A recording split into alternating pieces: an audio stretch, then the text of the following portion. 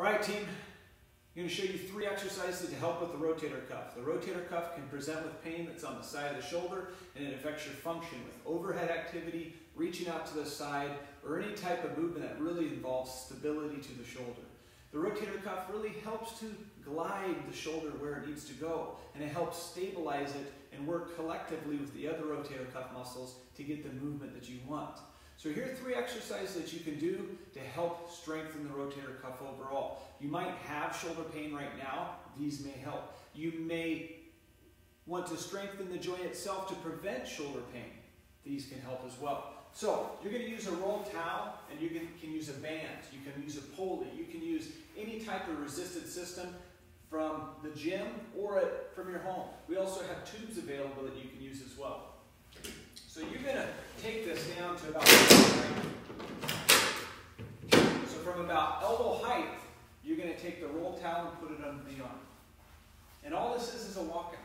So you're going to keep the arm perpendicular to the body, and you're going to pr provide three small steps out.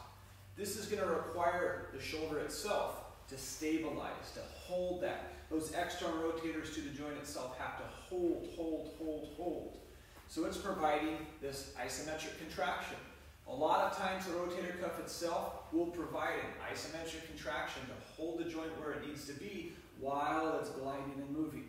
So it's important that with the, with the, the bands that we're using, that we're replicating similar movements that we may use in life.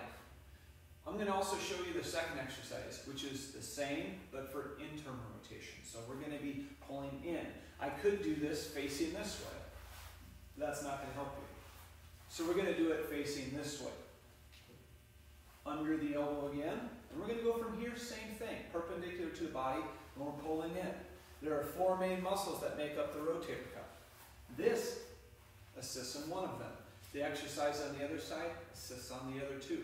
So we're hitting three out of the four, actually, four muscles just with this activity that we're providing right here. So again, we're going perpendicular to the body, we're going under the elbow, and we're going to provide light step outs or walkouts.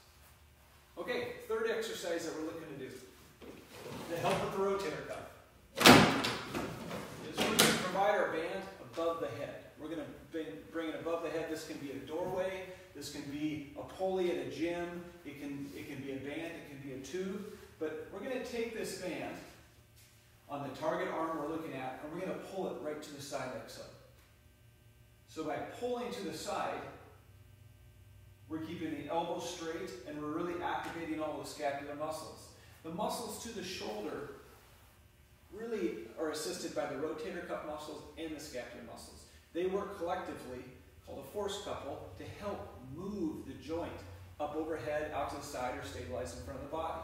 So again, we're keeping the elbow straight, and we're pulling right to the side. Slowly up, slowly down. We can provide more or less resistance based on how much of the band that we grab from. The farther away, it's going to be easier. The closer, it's going to create tension sooner.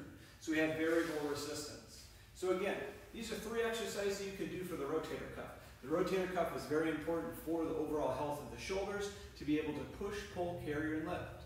So it's important that whether we preventatively assist the rotator cuff with some of these exercises we provided today, or you may already have that rotator cuff pain that's on the side of the shoulder or the joint that's causing that dull ache. It's hard to use with normal daily activities. So these are three exercises that you can start doing to assist with your shoulder health. All right, team. Thanks for watching today. And again, keep moving.